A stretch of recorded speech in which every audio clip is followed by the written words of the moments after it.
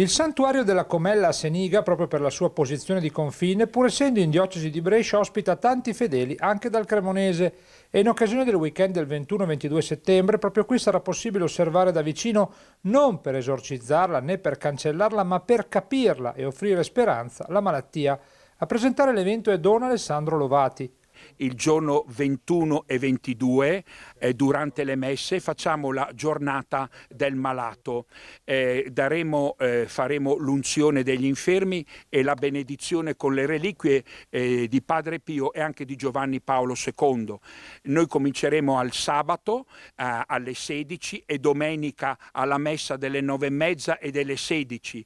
Eh, ci saranno delle toccanti testimonianze di alcune persone che stanno vivendo nella sofferenza, nel dolore, nella malattia. Quindi mi rivolgo a tutti coloro che ascoltano la televisione perché spesso qui nel santuario e sempre più vengono persone che quando vengono qui dicono non ce la facciamo più e quindi durante questi giorni ci saranno delle invito proprio agli ammalati, le persone che fanno fatica a venire in questo momento per ricevere luce, forza, fede, consolazione, speranza avremo eh, alcuni eh, disabili del centro Nikolaevka di Brescia e poi avremo anche una, una, una, moglie il cui marito ha fatto un incidente cadendo da, un, da, un, da, una scala e si è trovato tetraplegico e poi avremo anche la testimonianza di una parente di Angiolino Bonetta. E anni fa è stato un ragazzo, un adolescente che ha tagliato la gamba e ha vissuto la prova, il dolore, la malattia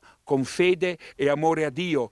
Un'occasione insomma per conoscere meglio chi soffre, i suoi pensieri e trarre qualche insegnamento utile per tutti per dimostrare solidarietà e preghiera e al contempo saper ascoltare il prossimo